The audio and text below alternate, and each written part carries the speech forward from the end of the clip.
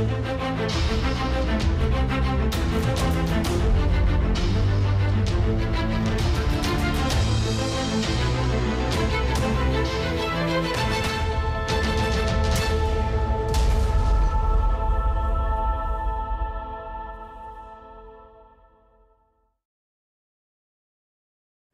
õhtut, head vaatajad.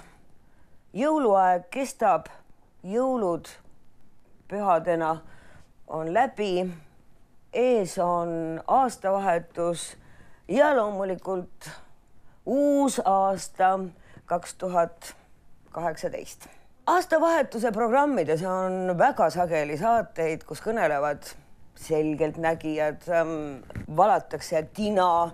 Äh, tehakse muid niisuguseid poolmaagilisi toiminguid, et ennustada, milliseks võib kujuneda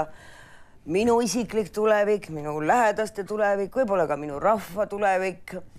ja mõned selgeltnägijad ei põrka tagasi ka selle eest, et räägi, rääkida sellest, mida on oodata maailma järgnevatel aastatel. tänaseks saatekülaliseks on meil äh,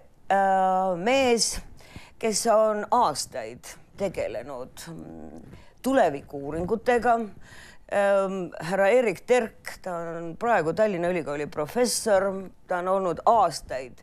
Tulevikuuuringute Instituudi direktor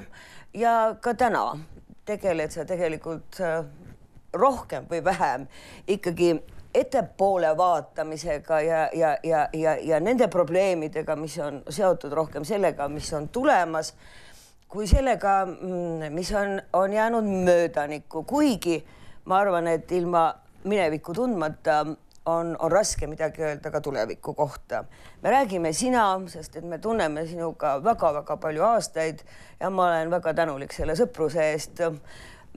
mis meil on sinuga olnud. olen saanud sinu kollegiaalset tuge nii mõneski oma ettevõtmises. aga ütle, hea Eerik, millal algab tulevik? praegu hakkabki. praegu hakkabki. kui kaua on maailmas, Euroopas ja ka Eestis tegelikult niisuguste tulevikuuuringutega tegeletud? no siin on, tuleks nagu nüüd eristada, et, et mis mõttes on tegeldud, eks ennustatud on ju, ma ei tea, aegade hämarusest alates ja kindlasti ma võiks öelda, et, et ka kusagil vanas Hiinas, vanas Egiptuses juba püüti ennustada ja noh, kes siis vaatas kontide pealt ja kes vaatas millegi muu pealt, kui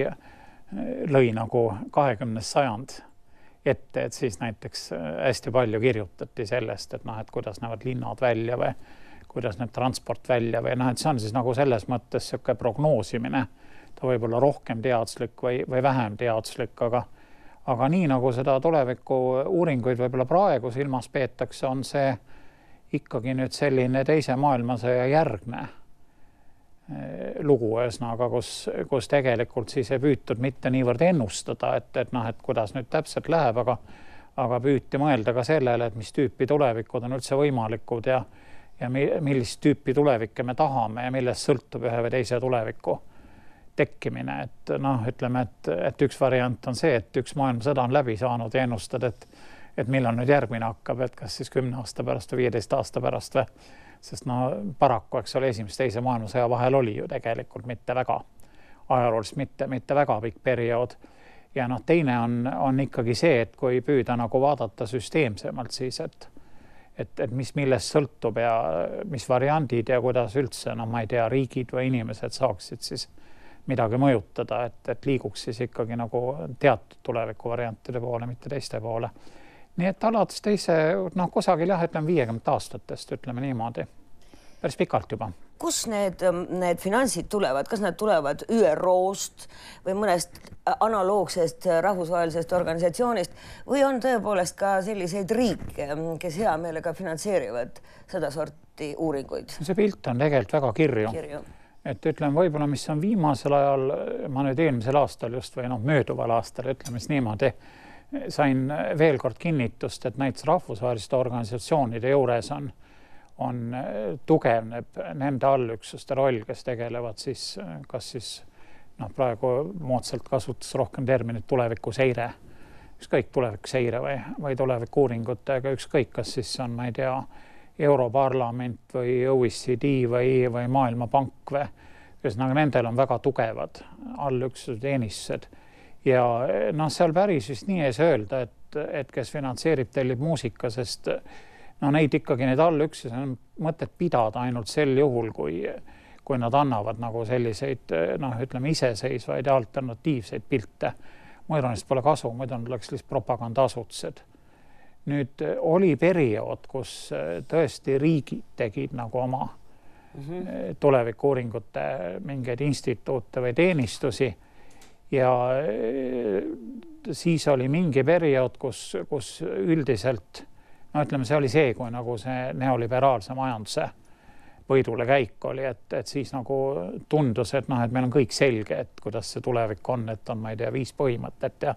madalad maksud ja paneme veel, eks ole, sinna mingid loosungid. stsenaarium domineeris. jah, et, et mingi üks stsenaarium domineeris ja noh, siis polnud nagu väga vaja neid riikidele, et siis piisas, kui nagu võib-olla propagandaasutused olid. Ja siis nagu need tulevikuuurijad liikusid rohkem nagu ülikoolide juurde. Ja eh, nüüd eh, noh, näiteks väga huvitav koht on, kuhu nad on, on liikunud, on, on parlamentide juurde, näiteks meil oli Eestis oli, oli arengufond ju, kes tegeles tuleviku asjandusega, nüüd ei ole enam eh, arengufondi, aga, aga on siis Riigikogu juures Arenguseire Keskus. Rõõm kuulda. kes, kes tegeleb tulevikustsenaariumitega, nii et noh, asju või neid variante on palju ja finantseerimismudelid on väga erinevad, noh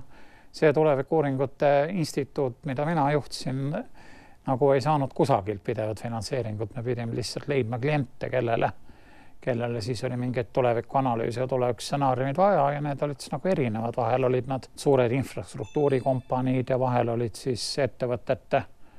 assotsiatsioonid ja, ja vahel, vahel olid riigiasutused ja kuidas kunagi kui oleks niimoodi, et teadlased nüüd oleksid, istuksid omaette ja teeks tulevikuprognoose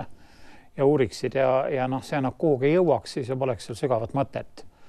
et äh, tegelikult see mudel, mida praegu just hästi propageeritakse, on selline, et et kus viiakse nagu need asjad, kaks asja kokku, ühesõnaga ühelt poolt see, mida analüütikud ja, ja tulevikuuurijad teevad ja teiselt poolt siis see, mida nagu, nagu otsustajad, millest nad aru saavad ja kuidas nemad mõtlevad ja tegelikult ka nende kõhutunne on, on päris oluline, vähemalt tarkade juhtide puhul. Ja, ja siis äh, sellisel, ütleme, kui on tehtud korralik eeltöö analüütikute poolt, siis nagu sellisel stsenaariumi kirjutamisel, kus tuleb nagu selline termin ka sisse nagu poliitiline tahe või või noh, ütleme firma puhul näiteks ma ei tea,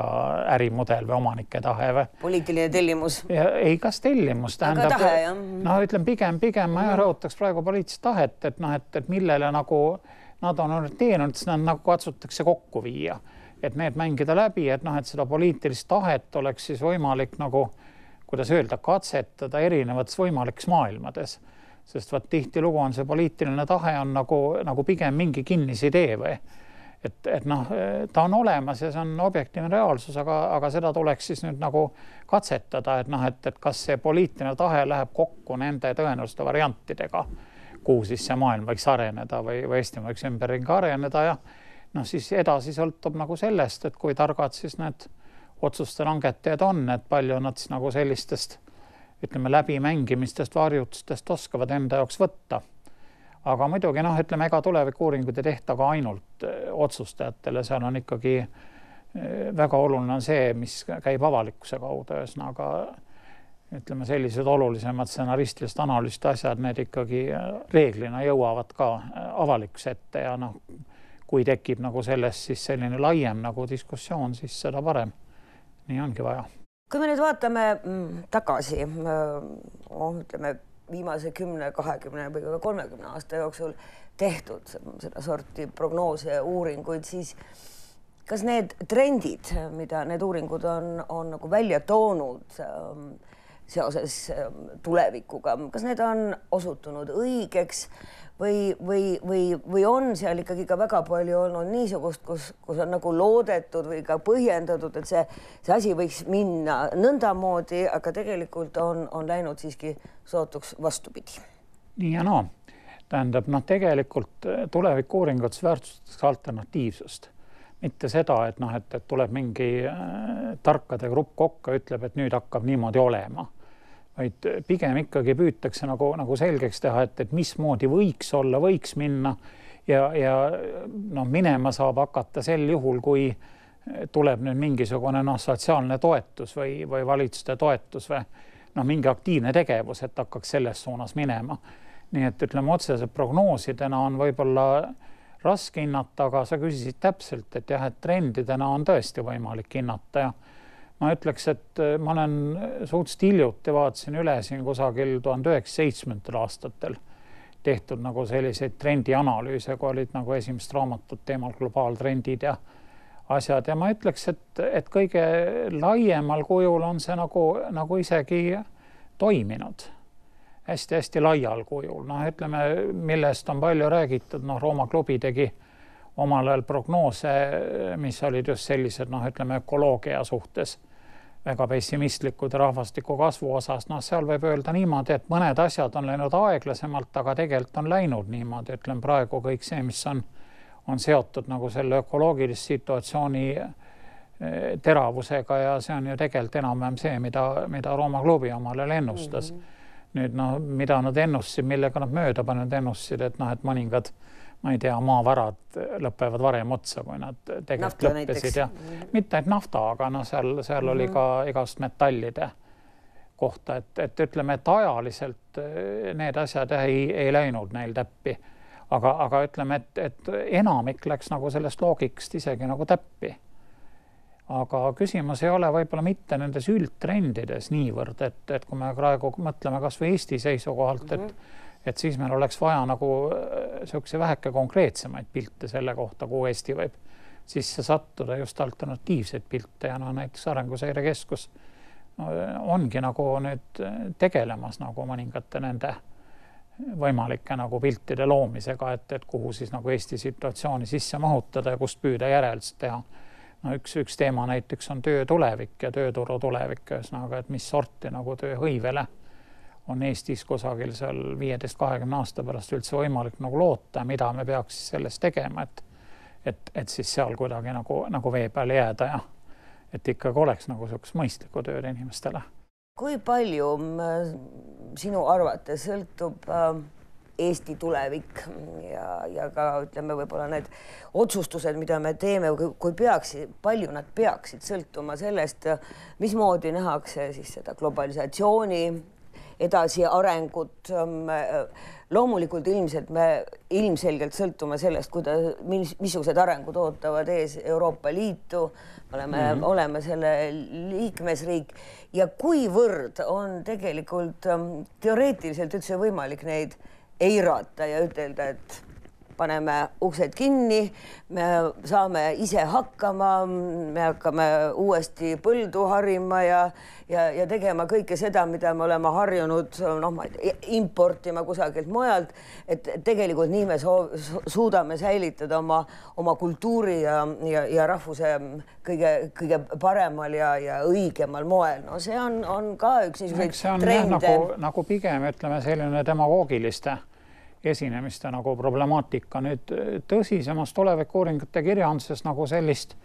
sulgumise või autarkia variante on muidugi vaadatud, aga, aga noh, et neid on vaadatud siis nagu mitte selles mõttes, et noh, et keegi tahaks kindlasti nagu ma ei tea, pätsuaegset Eestit tagasi ja siis selles suunas töötaks, aga aga pigem ütleme see, et kui on mingid ökokatastroofid ja, või, või mingisugused noh, sotsiaalsed kokkuvarisemised, et siis hakkab kuidagi altpoolt peale väiksematest kogukondadest ja noh, et, et jah, et need, need on nagu teatud alternatiividena on nagu välja käidud, aga mitte selles mõttes nagu sellist rahvuslikku sulgumist nagu propageeritakse, pigem natuke teistelt, teistelt alustelt, aga noh, ütleme võib-olla vastus on niimoodi, et, et mis koha peal saab teha, koha peal saab palju asju kihva keerata. tähendab noh, mingis suunas nagu väga aktiivselt eh, edasi liikuda, aga häid tulemusi saavutada on, on palju raskem, aga aga koha peal midagi käkki keerata on küll võimalik. no ütleme, see üldine loogika, mul on üks hea sõber, üks Tehnikaülikooli professor, kes kusagil ühel tulevikualasel diskussioonil üheksakümnendate aastate algul ütles, et kuulge sõbrad, et et olete te tähele pannud, et maailm võrgustub, et hakkame sõlmedeks. et no minu arust õudselt ilus loosung, ma nagu ilusamat loosungit ei tea, aga aga nüüd vot kuidas, kuidas Eesti võiks mingiks sõlmeks hakata see on, nõuab tohutult tööd ja, ja niisugust sihikindlat pingutust ja palju sihikindlamat pingutust, kui seda on võimalik mingi ühe valimisperioodi jooksul teha. see peab olema ikkagi noh, mingisugune selline valimistsükli pikkust nagu ületav pikemaajaline strateegia, et, et hakata mõneks sõlmeks. lugesin ähm, möödunud äh, aasta lõpus ähm, ilmunud tolleaegse äh, Euroopa Carnegie Instituudi direktori teese sellest, milline võiks olla Euroopa tulevik. Ja tema rõhutab, et, et noh, eurooplased peaksid hakkama endale aru andma selles mõttes eurooplased, need, kes elavad Euroopa territooriumil ja ka kuuluvad Euroopa Liitu, et te peate endale aru andma, et, et see eluviis, millega te olete harjunud ja, ja mille te olete omaks võtnud, et mm, see ei ole mingisugune iseenesestmõistetavus äh, tänapäeva maailmas või siis. ta on maailmas suur erand tegelikult. ta on väga suur erand ja, ja nüüd, et kas seda üldse on, on võimalik säilitada Ehm, see on veel omaette küsimus, aga, aga noh,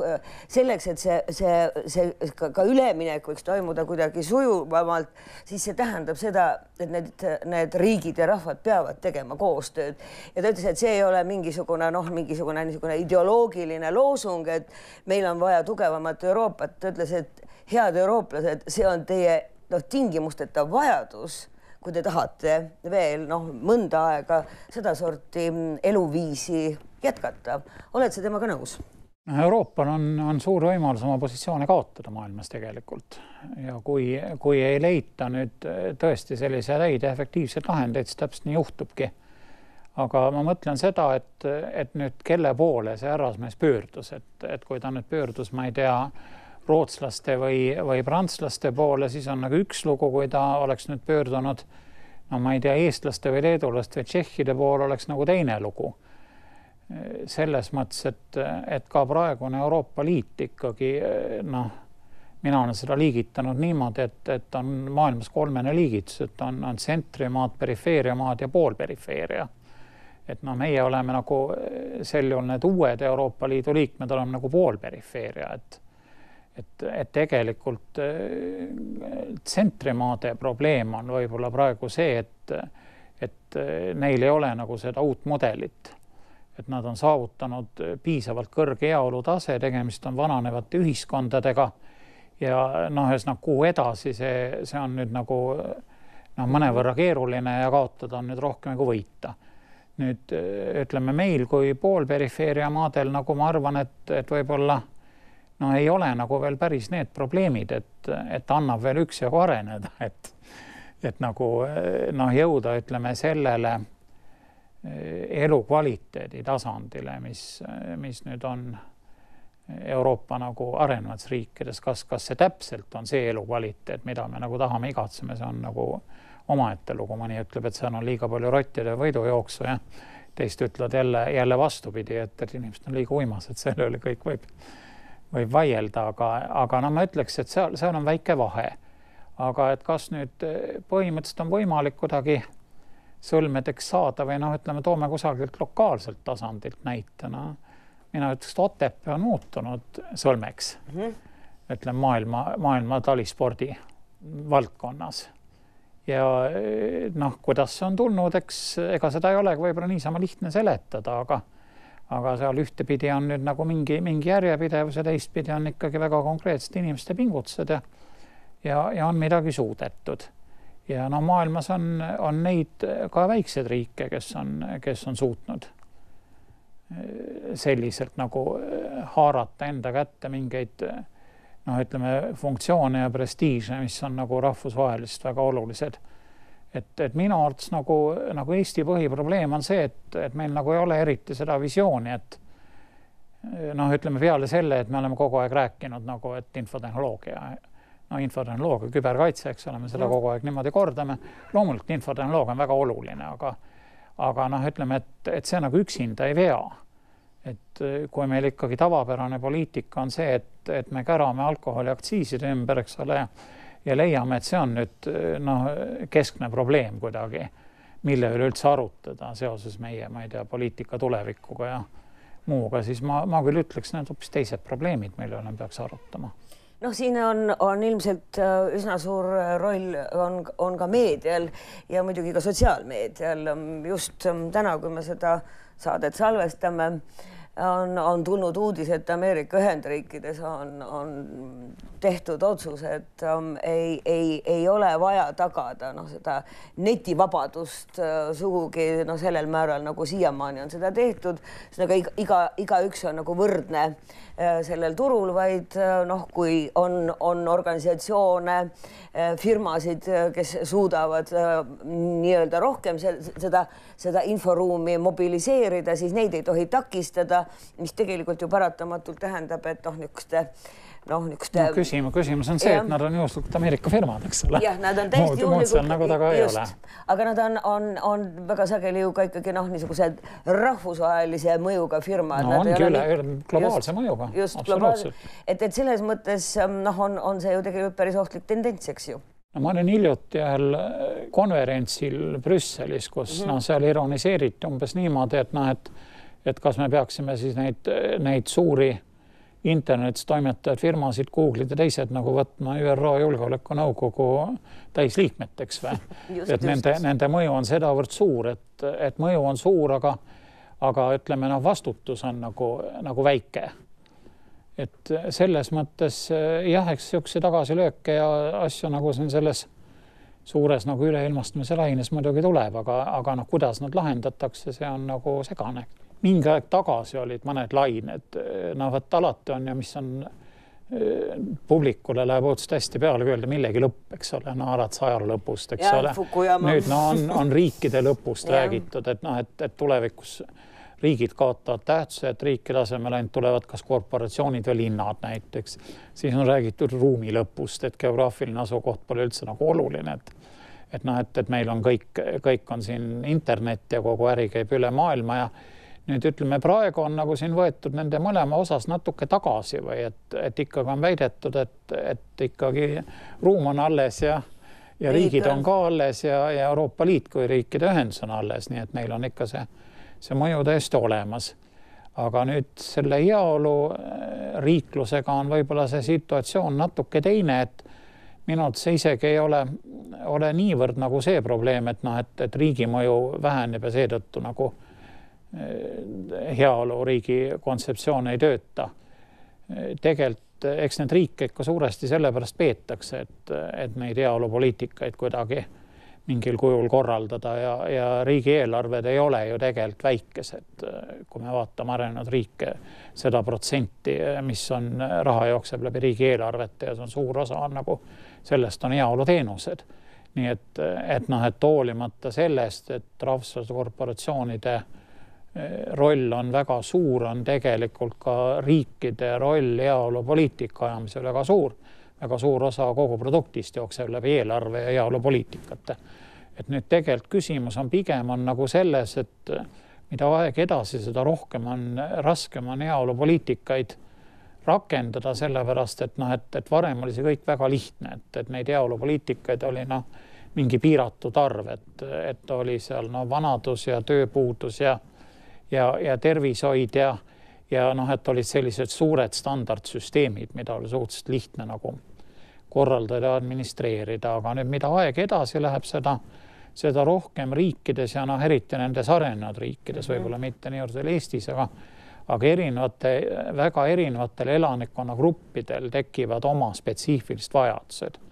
Ütleme, no noortel peredel näiteks tekib mm -hmm. lastehoid, eks ole no mis mis on täiesti spetsiifiline teema, aga neid spetsiifilist teemast tekib kümneid. ja, ja nüüd äh, selgub, et nagu see heaolupoliitikate asi hakkab nagu pihustuma ja noh, ütleme, et kõikidel nendel heaolupoliitikatel on oma lobigrupid, eks ole, kes siis nagu seda tahaksid. ja lõpptulemus ongi see, et äh, noh, ütleme, et lõpus, äh, kui nüüd natuke ironiseerida, et, et noh, et inimestel on kõige rohkem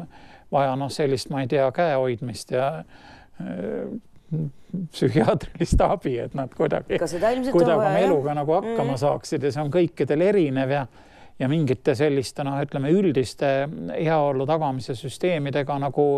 noh, ei saa nagu seda elanikkonna rahulolu tekib niisugune paradoks, et et heaolusüsteemid kogu aeg suurenevad, inimeste õnnelikkus või konformsustunne nagu nendes heaoluühiskondades tegelikult ei suurene. Et, et noh, et, et ma arvan, et see on nagu, nagu suurem probleem ja see võib olla, et noh, et, et riigieelarvetes globaalse majanduse raames ei jätku raha, et et heaolupoliitikaid rakendada, see on nagu väiksem probleem. Et vähemalt esialgu, kui meil mingit suurt järgmist majanduskriisi veel kukil ei ole, seda raha on veel üksjagu, aga, aga need nõuded, kuidas seda raha nagu jagada või kasutada, need kogu aeg killustuvad mitte väga kaua aega tagasi mm, käis Soome meediast läbi ja, ja noh, see on loogiline, et soomlased seda eriliselt rõhutasid. Oli, oli ilmselt läbi viidud rahvusvaheline uuring, noh, jällegi selle kohta, mm, et, et noh, kui, kui õnnelikud või, või õnnetud äh, ühe või teise riigi kodanikud on või kuidas nad ennast tunnevad ja, ja Soome puhul oli, oli tulemus noh, mõnes mõttes täiesti fantastiline, et kümnest inimesest üheksa ütlesid, et nad on oma eluga rahul ja, ja seal ka rõhutati, et, et küsimus ei olnud isegi selles, et, et, et, et nad olid noh, kuidagi majanduslikult eriliselt kindlustatud mm. -hmm. rõhutati, et isegi need inimesed noh, kes, kes elavad tänaval ja neid inimesi on ka Soome Vabariigis ja neid on ka teistes Põhjamaa riikides. isegi nende puhul oli see arvamus pigem, et noh, Soomes on ju tegelikult täiesti võimalik ikkagi ka niimoodi toime tulla, et jah, mul kindlat töö ja elukohta ei ole, aga ah no tänaval nagu... pole väga viga, vähel on külm, eks ole. just, et täiesti noh, on võimalik nagu toime tulla ja ennast ära sättida. tegelikult on natuke kaks ise asja, üks on rahulolu ja teine on õnn no. aga, aga ega seda õnne nüüd korralt ei osatagi mõõta, ütleme, no ma olen näinud neid metoodikaid ka, seal isegi ongi umbes niimoodi, et et umbes pool nagu sellest indeksist on tegelikult nagu rahulolu komponendid mm -hmm. ja ülejäänud pool on siis vaat see emotsionaalne nagu noh, tunne, et et ma tõesti tahaks nagu lennata ja noh, ütleme, mis on nagu selline üleminev nähtus tihti nagu, nagu inimestel. ja ütleme, mida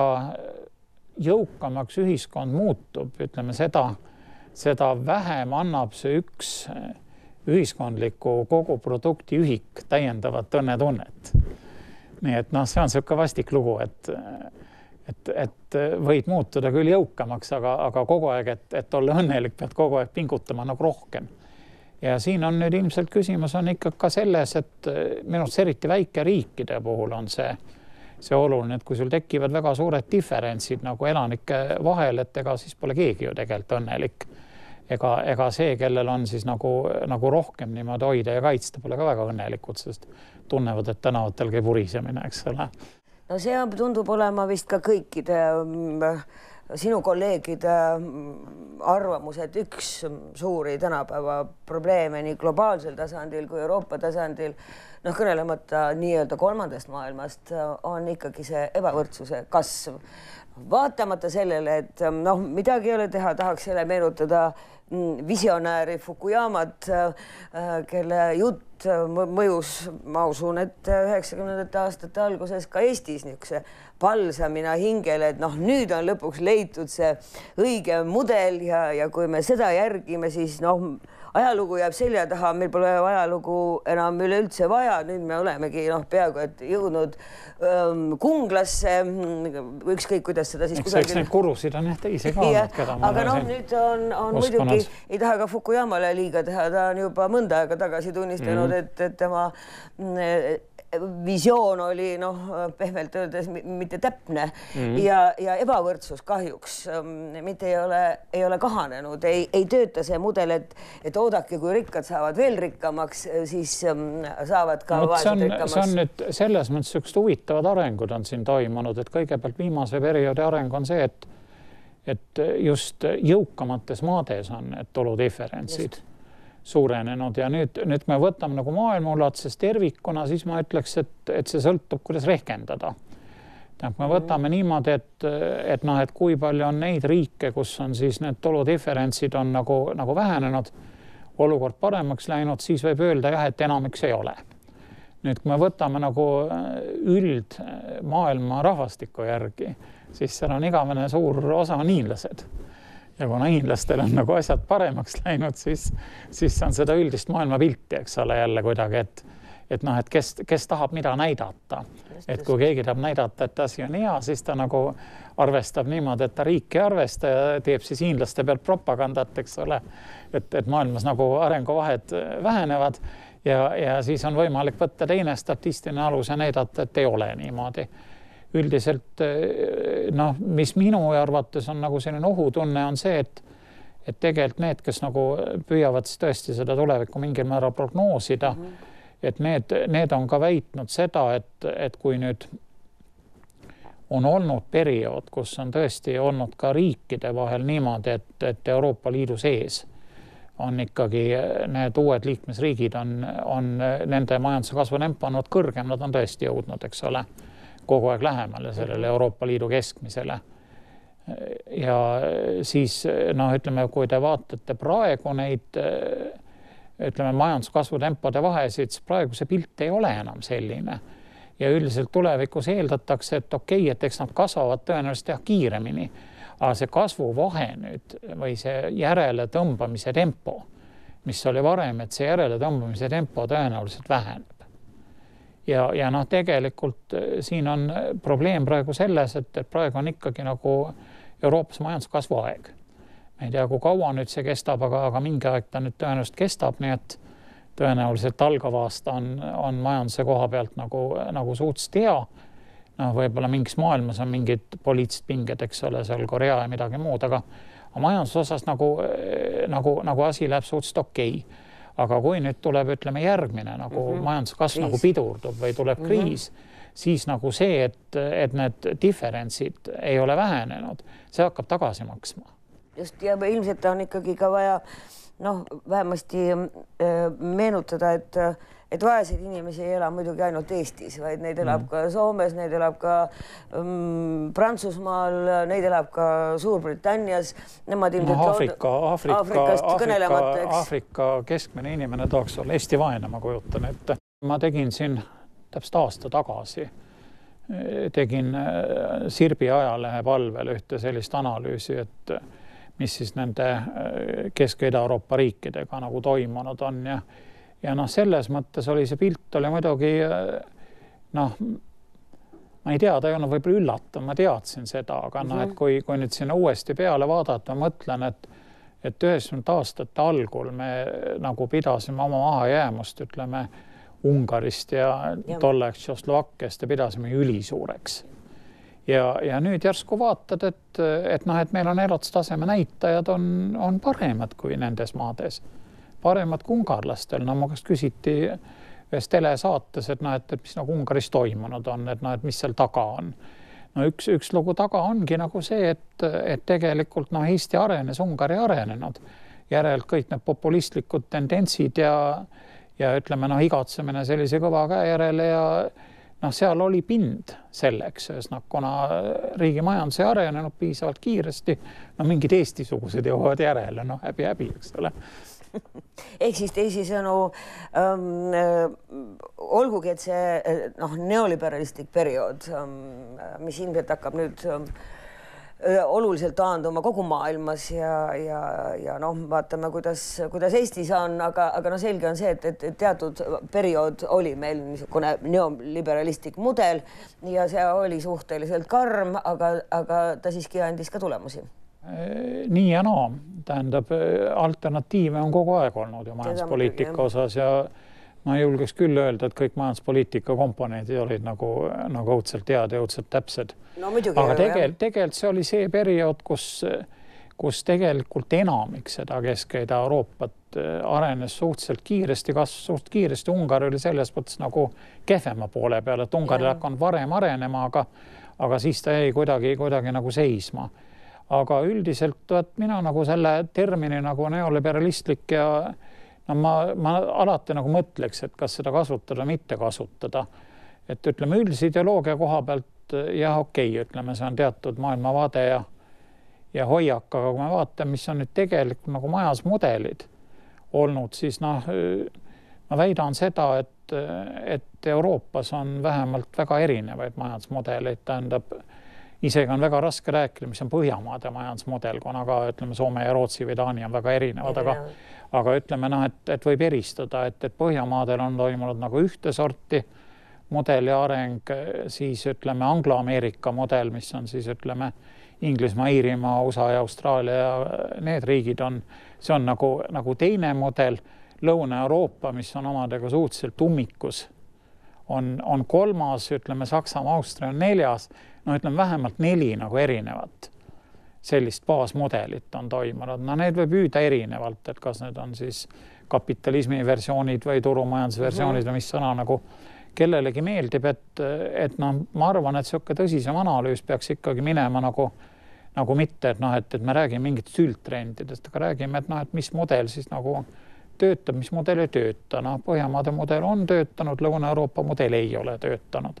Kui nüüd keegi ütleb, et Euroopa on õudselt hea või õudselt paha, noh siis see on üldistus, mingi, mingi osa on suhteliselt hea, mingi osa on osutunud nõrgaks. kui, kui sina noh, vaatad äh, neid praeguseid arenguid äh, Euroopas äh,, aga ka Eestis, sest oled, oled ju ise teadlasena ka, ka noh, nendes, nendes ettevaatavates ja analüüsivates gruppides kogu aeg osalenud. et ähm, millist mudelit ähm, sina soovitaksid praegu Eestile? No siin on, on isegi vaieldud selle üle, et noh, et kas tekib mingi Balti mudel. sest eh, ma nagu ei näe, et, et ta saaks olla mingisugune väga selge nendest, nendest mudelitest. ta on, ta on praegu on mingi selline noh, segu või miks ühelt poolt eh, Anglo-Ameerika ja teiselt poolt Põhjamaade mudelist, tähendab ideoloogilist on nagu toetatud seda Anglo-Ameerika mudelit ja aga kuna Põhja-Euroopa on siin kohe kõrval, eks ole, ja noh, inimesed ja. teavad, mis nagu seal toimub, siis on nagu paratamatult selle mõju olnud. noh, ütleme seda Saksa mudelit tegelikult ei ole, me küll kõik tunnistame, et Saksamaa on väga suur riik ja oluline riik, aga noh, ütleme, me oleme seadusandlust üle just, võtnud, aga, aga see on nüüd noh, ütleme pigem juriidika, aga ütleme seda Saksamaa nagu mudelit me ei ole nagu eriti, eriti üle võtnud no ma arvan, et eks ta, eks ta mingiks niisuguseks vahekombinatsiooniks jääks, aga aga mul on üks hea äh, Leedu sõber, kes on neid erinevaid versioone väga põhjalikult analüüsinud ja ja noh, ta väidab, et nagu nende genees on üldse on noh, vähemalt viiskümmend aastat, kui mitte kauem, isegi kauem, et noh, et tegelikult see, et mis mingist maast saab, et selleks tuleks vaadata mitte ainult seda, et kuidas ta on sotsialismist väljunud, aga isegi seda, kuidas ta on sotsialismi sisse sattunud ja mis on ennem olnud, et, et siin on noh, igal pool on nagu see arengutee on. Mingite kultuuriliste ja ajalooliste asjadega on, on determineeritud ka. ja noh, ta, tema analüüs jõuab ka nagu sinnamaani, et, et tegelikult Kesk- ja Ida-Euroopa enamike maade puhul ei ole see veel selge, mis mudel sealt välja tuleb, noh, ütleme mõned maad on läinud nagu selgelt, noh, Sloveenia on läinud mingis suunas, mida võib nagu, nagu kuidagi liigitada, aga, aga Balti riigid ei ole ühesõnaga tulevik on avatud selle koha pealt. kuidas sulle tundub, missugust rolli see kultuurimudel ja kultuurimuster tulevikus äh, võiks mõjutada Eesti arengut, Euroopa arengut? maailma äh, arenguga no, seda, on keerulisem. seda lokaalsete kultuuride mõju on ju mingi viimase, ma ei tea, viie või kuue aasta jooksul on hakatud üha rohkem tähtsustama. varem nagu seda ei osatud nagu näha või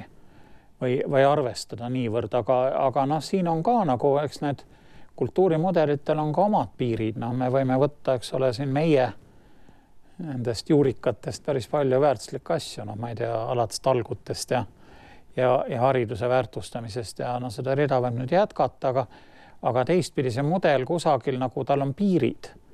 ühesõnaga, ega noh, ükski asi pole nii, et ta on ainult nagu positiivne, eks, eks seal on nüüd natuke palju seda äh, seda sellist eh, noh, suletust võib-olla või? ma mõtlen just seda jällegi noh, kui võtta veel pikemalt, siis noh, ütleme, et tsaari ajal nagu ei olnud see väga suletud. käidi, eks ole, Vladivostokini välja ja ja, ja kus iganes nüüd sellel kallil Eesti ajal oli ta tegelikult suhteliselt suletud mudel. see Pätsu riik oli suhteliselt suletud mudel ja nüüd ütleme, need eks ütleme, ideoloogidel ja siin noh, tarkadel inimestel on nagu, nagu see nüüd ka see mingi opereerimise võimalus, et, et noh, et igal rahval oma minevik meeldib, aga mm -hmm. mida sa sealt väärtustad, et noh, et kas sa nüüd väärtustad seda suhteliselt suletud olekut, mis oli nagu Pätsu ajal või, või noh, ma ei tea, sa väärtustad midagi, mis oli minu poolest kasvõi Hansa aegadel või või mm, -hmm. või mhm. kusagil, kus Eesti insenerid tsaariaja lõpul ehitasid suuri raudteid ja sildasid üle, üle kogu Venemaa, nii et noh, alati on võimalik nagu, nagu mingeid komponente võtta ja sealt püüda siis neid arenguimpulsse leida ja tuleviku jaoks. ja eks see on vist ka äh, inimloomusele üsna omane, et, et me väga sageli, noh, eriti ilmselt siis, kui meil tekivad mingisugused niisugused kriisid ja, ja meil on mm., on, on vaja teha võib-olla väga raskeid valikuid, siis, siis tagasi mõeldes tundub see kõik, mis on selja taha jäänud, noh, vot siis oli nagu kõik hästi ja siis oli kõik tore. et see oli mm, noh, päris huvitav jälgida, kui ilmus äh, etnograaf, etnograaf või nüüd kultuurantropoloog, igal juhul erakordselt sümpaatne uurija Heiki Pärdi kirjutas eestlaste eluolust ja mm, -hmm. ja, ja selle tulemusena puhkes ajakirjanduses kohutav diskussioon, et noh, mida see Pärdi endale lubab, eks ole, näitab meie esivanemaid siin kusagil mhm. üheksateistkümnendal sajandil ja kahekümnenda sajandi alguses, et noh, ei olnud peldikuidki, mis me siis muust räägime. see oli ikka väga eriline fenomen just, aga noh, et, et, et noh, et, et see tuli nagu korraga suure üllatusena, samal ajal noh, mille üle siin nii väga imestada on, et vähemasti keskkooli ajalootundides isegi Nõukogude ajal noh, võib-olla et seal ehk isegi rohkem seda rõhutati, aga aga noh, ja, ja noh, mina olen, olen ka tõepoolest etnograafiat õppinud, et mm. siin ei ole ju midagi imestada ja, ja kui me vaatame üldse Euroopas ringi, kus siin siis nüüd nii selle vaesema rahva elu nii, nii, nii, nii palju ilusam oli, et et aga me armastame noh, ikkagi vaadata ja, ja selles oma rõõmsas või nostalgilises tagasivaates et vot siis oli kena, aga, aga, aga noh, nüüd noh, nüüd on meil niisugused jubedad probleemid. minu, minu arvates nagu noh, me kahte asja püüame nagu eroiseerida, et, et üks on tegelikult igal rahval on mingi kuldaeg no,. ja no eestlaste jaoks oli kuldaeg, oli see ennesaegne iseseisvus, eks ole nüüd teine on see, et, et kelle ajalugu me vaatame, ma olen rääkinud siin omal ajal, me püüdsime aidata nagu eh, erinevatel ajaloomuuseumitel siin nende arengukavade mm -hmm. asju nagu seal eh, paika panna ja, ja siis oli, mul oli noh, päris suur üllatus ja, ja valdavalt positiivne üllatus, et nooremad inimesed, kes on tegelikult nagu selle praegu nende muuseumite asjade juures, need, need rõhutasid kogu aeg, et noh, et et, et me peame nüüd tegema siin päris tugeva vaatepildi laiendamise, et me oleme käsitlenud oma ajalugu kui talurahva ajalugu yeah aga et, et tegelikult ka Eesti ajalugu on ka, ka see, mis linnades toimus ja see, mis kaubanduses toimus ja ja, ja mis käsitöös toimus ja see kõik mõjutas nende see, elu. see, see ja. kõik mõjutas ja et noh, et, et kui me nüüd tahame, et, et tuleviku jaoks me saaksime nüüd minevikust midagi võtta, et noh, et siis me ei peaks ainult vaatama tagasi nüüd selle talupoja ajaloo nagu liini pidi. aga noh, tulles, tulles nüüd ikkagi sellesse sellesse meeleollu, mis üldiselt praegu meid kõiki valdab, et um, vana aasta on, on lõppemas ja loodame, et, et paljud probleemid, mis kimbutasid meid sellel aastal ehk järgmisel aastal ei külasta Ehm, kuidas sa vaatad seda, seda praegust rahvusvahelise poliitika olukorda, et, et on, on palju neid, kes ütlevad, et, et majandusareng ilmselt saab olema rahulikum ja stabiilsem, aga see, mis toimub noh, nii-öelda selles, selles poliitilises maailmas kõikides nendes vastuoludes ja pingetes, mis siin on, on tekkinud, et, et seal on on, on palju plahvatusohtlikum. arvad, et see tõesti on noh, praegu, praegu on nagu tõsi, tõsine oht no, maailma rahule või on ikkagi põhjust arvata, et, et need konfliktid, kui nad ka tulevad või kui nad ka jätkuvad, nad jäävad ikkagi rohkem lokaalseteks? no ma ütleks natuke teistpidi, et, et me oleme nüüd tänu oma sellele geograafilisele asukohale oleme nüüd õudselt keskendunud nagu sellele, et, et mida siin sõber Putin teeb ja Venemaa teeb et, et tegelikult, kui me võtame praegu nüüd no maailma kui terviku ja lähiaastat, siis ma arvan, et need võimalikud nagu pingekohad või pahad kohad tõenäoliselt ei ole seotud Venemaaga, et, et see on jah, pigem siin Lõuna-Koread ja ja noh, seal, seal võib kusagil veel võib tuliseks minna, noh, on kogu aeg küdeb siin midagi, eks ole, Pakistani ja. India vahel ja ütleme, et et see olukord on selline, et maailmas neid potentsiaalseid konfliktikohti on siiski vastikult palju. ja noh, kusagil võib nüüd jah, midagi nagu, nagu seal plahvatada, aga, aga noh, ütleme võib-olla meie jaoks nad on jah, suhteliselt siiski kaugel ja ja, ja lokaalsed küsimused, aga, aga noh, mille tõttu me nagu peaks olema ettevaatlikud selle tõttu, et, et kuna Ameerikas on praegu nagu selline president, nagu ta on, mis on, kes on suhteliselt ettearvamatu. America ja, comes first. ja noh, ütleme, üks on first, aga ütleme ühtepidi ta on võib-olla jah, nagu praegu selle institutsioonidega nagu ta pandud teatud kohta, et et ta on mingis mõttes on nagu, nagu võib-olla ära taltsutatud, aga aga, aga ikkagi ütleme noh, see määramatuse efekt on suurem, noh, kui Trump ütleb, et määramatus on ta trump. et, et noh, et, et teist ei peagi teadma, mis ma teen, et nad kardavad mind, eks ole et ma võin igast asju teha. aga, aga noh, ütleme, et eh, tohutult raske on prognoosida maailmas igast asju ja seoseid ja kuidas keegi peaks käituma, mida tegema. kui, kui selline üliriik nagu Ameerika Ühendriigid on, on noh, suhteliselt ettearvamatu oma käitumises nii et, et seetõttu ma olen sinuga nõus jah, et, et majanduse osas on pilt on praegu mõnevõrra parem, kui, kui ta on nagu äh, välispoliitilises plaanis, aga võib-olla üks selline üldisem asi veel, mille kohta ma küll julgeks öelda, et ma ei saa nagu täpselt aru, et mhm. millest see on tulnud ja see on just Eestis on kuidagi niimoodi, et et me olime Eestis ikkagi pikka aega olime selline suhteliselt optimistlik rahvas mm. ma mõtlen nüüd siin viimastel Just. aastakümnetel ja noh, püüdsime nagu edasi ja püüdsime järele jõuda ja paremaks ja noh, kas alati kõige targem, see on omaette lugu aga nüüd kusagil mingi viimase paari aastaga on toimunud nagu noh, selline muutumine, et, et jah, nagu kriis on selja taga ju praegu, eks ole, suuremat jama kuidagi nagu ei ole, aga, aga me tahaks nagu umbes niimoodi, et noh, et, et mitte muuta ja ja, ja noh, olla, olla niisugune väike ja omaette või? Noh, ühesõnaga nii kui kusagil tekib mingi, mingi suur projekt, nii me kohe ehmatame, et oi, meil seda pole küll vaja no ei, meil pole seda Rail Balticut nee. vaja ega ei ole seda puidumassi töötlemise tehast nee. vaja, et et need on kõik mingid suured ja ähvardavad asjad ja väljaspool nagu meie sellist no mõju ulatust ja, ja, ja pigem oleme nende vastu. et eh, noh, minu arust küsimus on nagu see, et noh, et, et mis mehhanism peaks see olema, mille kaudu me peaks siis nagu selliseid suuremaid asju klaarima, muidu me jäämegi klaarima, et kas alkoholiaktsiis peab tõusma no, kiiremini või aeglasemalt, et, et igaüks on tark ja igaüks ütleb, eks ole. aga, aga kuidas neid suuri asju üldse menetleda, et, et me kuidagi oleme nagu noh, kaotanud nagu ma ei tea, usu nagu iseendasse või et, et noh, et me kardame, et niikuinii tehakse mingeid käkke no ma ei saa sellest aru, kust see tulnud on päris. nojah, väidetakse, et ähm, omal ajal, kui Friedrich Reinhold Kreutzwald ähm, asus kirjutama, kokku panema Kalevipoega äh,, oli ta tegelikult ähm, eesti keele ja, ja rahvuse tuleviku suhtes erakordselt äh, pessimistlikult meelustatud. aga, aga ta kirjutas selle eepose valmis ja selle eepose mõju lõppkokkuvõttes rahva enesetundele ja, ja kogu sellele ärkamisajale oli meeletult positiivne mm. -hmm. nii et um, et ja kui me mõtleme nüüd Lennart Meri peale, siis um,, siis kui ta kirjutas oma Hõbe valge ja Hõbe valgema um,, olid ajaloolased, kes ütlesid, et noh, see on nüüd suurepärane näide sellest, kuidas üks ajalooharidus, just ajalooharidusega inimene ei, ei tohi kirjutada ja missuguseid mm. niisuguseid õhulosse luua aga samal ajal ähm, mäletan ma ka, kui sooja vastuvõttu näiteks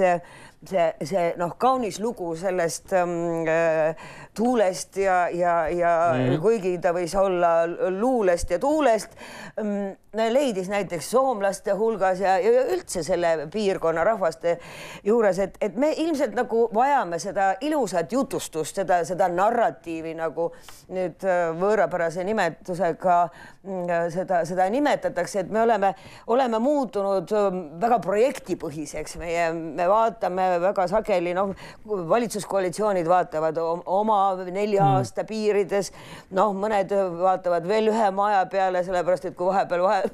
valitsus mm. vahetub, siis niisuguseid pikemaid ettevaatavaid visioone keegi ei julge teha ja, ja siis ongi see noh, niisugused see, see, see pikem usk ja lootus, mida omal ajal andis Kalevipoeg, vaatamata sellele, et tal löödi jalad mm, alt ära, aga noh, tuleb ükskord tagasi ja pirud löövad kahel otsal lõkendama, et mm, see sõnum oli ootamatult äh, oluline no sel perioodil oli see, oli see kõik väga oluline ja ma olen sellega sinuga nõus, et, et praegu on jah, see periood, et ei saa öelda, et visioonidest on villand, et ütleks, et, et polegi neist, neid nagu väga. et, et neid oleks vaja küll, aga, aga kas nad peaks olema nüüd sedasorti visioonid, selles ma nüüd julgeks nagu kahelda. ma arvan, et nad peaks olema selles mõttes nagu noh, realistlikumad visioonid, mis nüüd arvestaks sellega, mis selle maailmaga nüüd ikkagi võib lähemate aastakümnete jooksul nagu juhtuma hakata. et no vot, kuidas ikkagi nüüd selleks sõlmeks saada ja ja, ja kuidas nagu